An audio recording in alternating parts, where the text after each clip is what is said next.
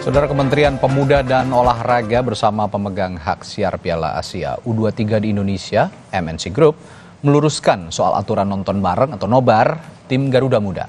Nobar diperbolehkan dengan tidak dikomersialkan. Pemerintah sangat mendukung inisiasi nonton bareng yang dilakukan oleh masyarakat sebagai bentuk dukungan terhadap tim Garuda Muda yang tengah berlaga di Piala Asia U23. Namun Kemenpora meningkatkan atau men, ya mengingatkan maksud kami untuk kegiatan nobar ini tidak dikomersialkan seperti memungut bayaran dan memasang iklan. Hal ini dilakukan karena banyaknya temuan acara nobar laga Garuda Muda yang tidak berizin dan dikomersialisasi.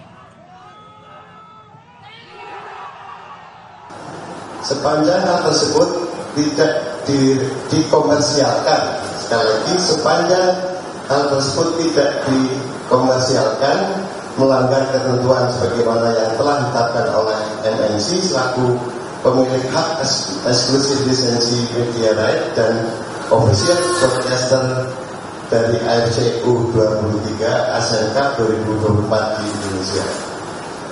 Ketiga, baik Kemenpora, MNC Group maupun PSSI memberikan apresiasi setinggi-tingginya kepada masyarakat Indonesia yang selalu antusias mendukung memiliki semangat merah putih yang menyala bagi perjuangan tim Garuda kita. Jadi yang kami inginkan itu, yang kami ingin luruskan adalah nobar dipersilakan sepanjang bahwa itu tidak terlalu secara komersial.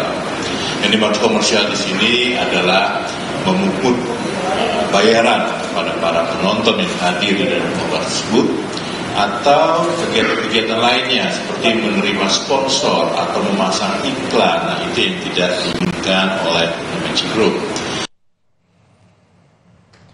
Sebelumnya surat edaran terkait hak siar Piala Asia U23 tahun 2024 memuat soal larangan nonton bareng atau nobar. Ini memantik emosi para penggemar sepak bola sekaligus pendukung timnas Garuda Muda.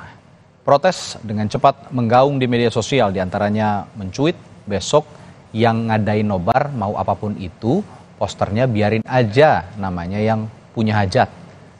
Gak usah pada komplain, fokus dukung timnas seperti cuitan yang Anda saksikan ini. Ada juga cuitan lain. Kocak sih tiba-tiba keluarin pernyataan larangan nobar kayak gini. Padahal sebelumnya aman-aman aja. Padahal nonton bola kan emang identik sama nobar. Terus kenapa sekarang dilarang? Apalagi sampai merembet ke ranah hukum dalam cuitan lainnya. Selanjutnya ada juga cuitan seperti ini. Yang dilarang itu bagi restoran dan sebagainya, bukan nobar di kampung, katanya begitu. Dan yang lainnya, ada juga cuitan seperti ini, boleh ngadain nobar tapi dengan catatan nggak boleh dikomersialisasikan. Nggak boleh ada sponsor masuk dan apa pun yang menguntungkan pihak penyelenggara. Cuitan selanjutnya, aturan ada untuk dilanggar, apalagi ini bola basis rakyat kecil. Kalau untuk Liga Eropa dan lain-lain boleh sih, tapi kalau laga Indonesia sebenarnya kurang bagus kalau dilarang-larang. Nobar itu juga bentuk sosialisasi warga. Dikit-dikit bayar, nonton ini itu bayar, kurang banyak tuh duit, seperti kata cuitan yang satu itu.